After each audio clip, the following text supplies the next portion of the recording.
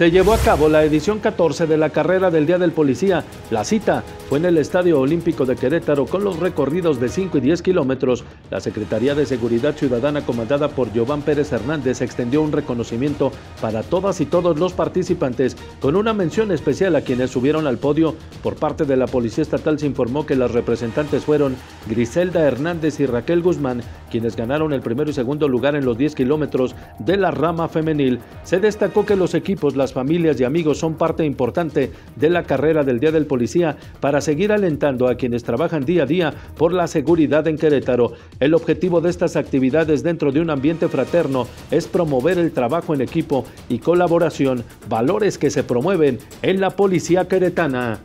RTQ